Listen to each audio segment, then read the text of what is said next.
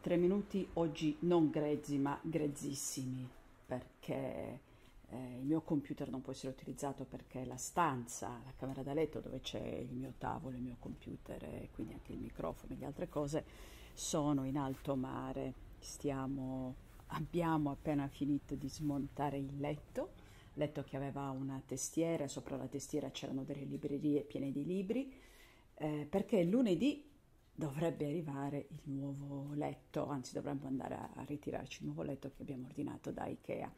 Ed è un letto particolare perché è un letto alto di quelli tipo a soppalco. Non è semplicissimo trovare i letti a soppalco misura matrimoniale.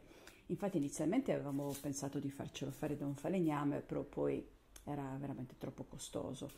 Uh, troppo, troppo, troppo costoso, per cui abbiamo optato per una cosa più semplice, prendere uno già fatto da Ikea.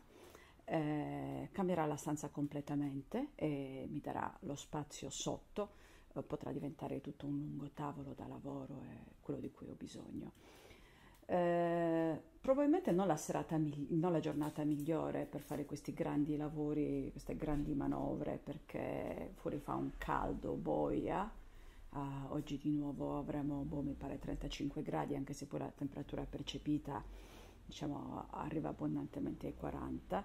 Infatti io sono indecisa se farmi o meno la doccia, sono completamente bagnata di sudore, ma so che appena uscita dalla doccia continuerò a, a sudare. E poi c'è anche il fatto che ancora non abbiamo caricato tutto sulla macchina perché portiamo il vecchio, il vecchio letto in campagna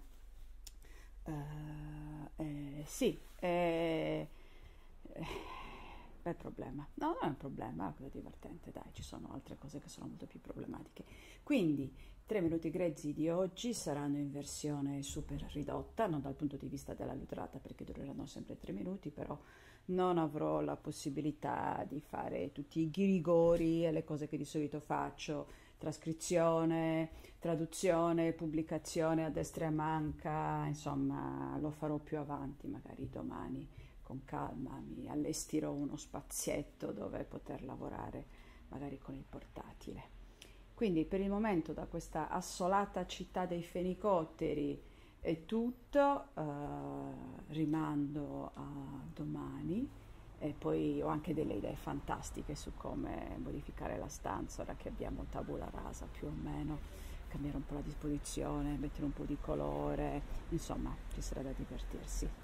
E come sempre vi terrò aggiornati. Va bene, è tutto, a domani, ciao!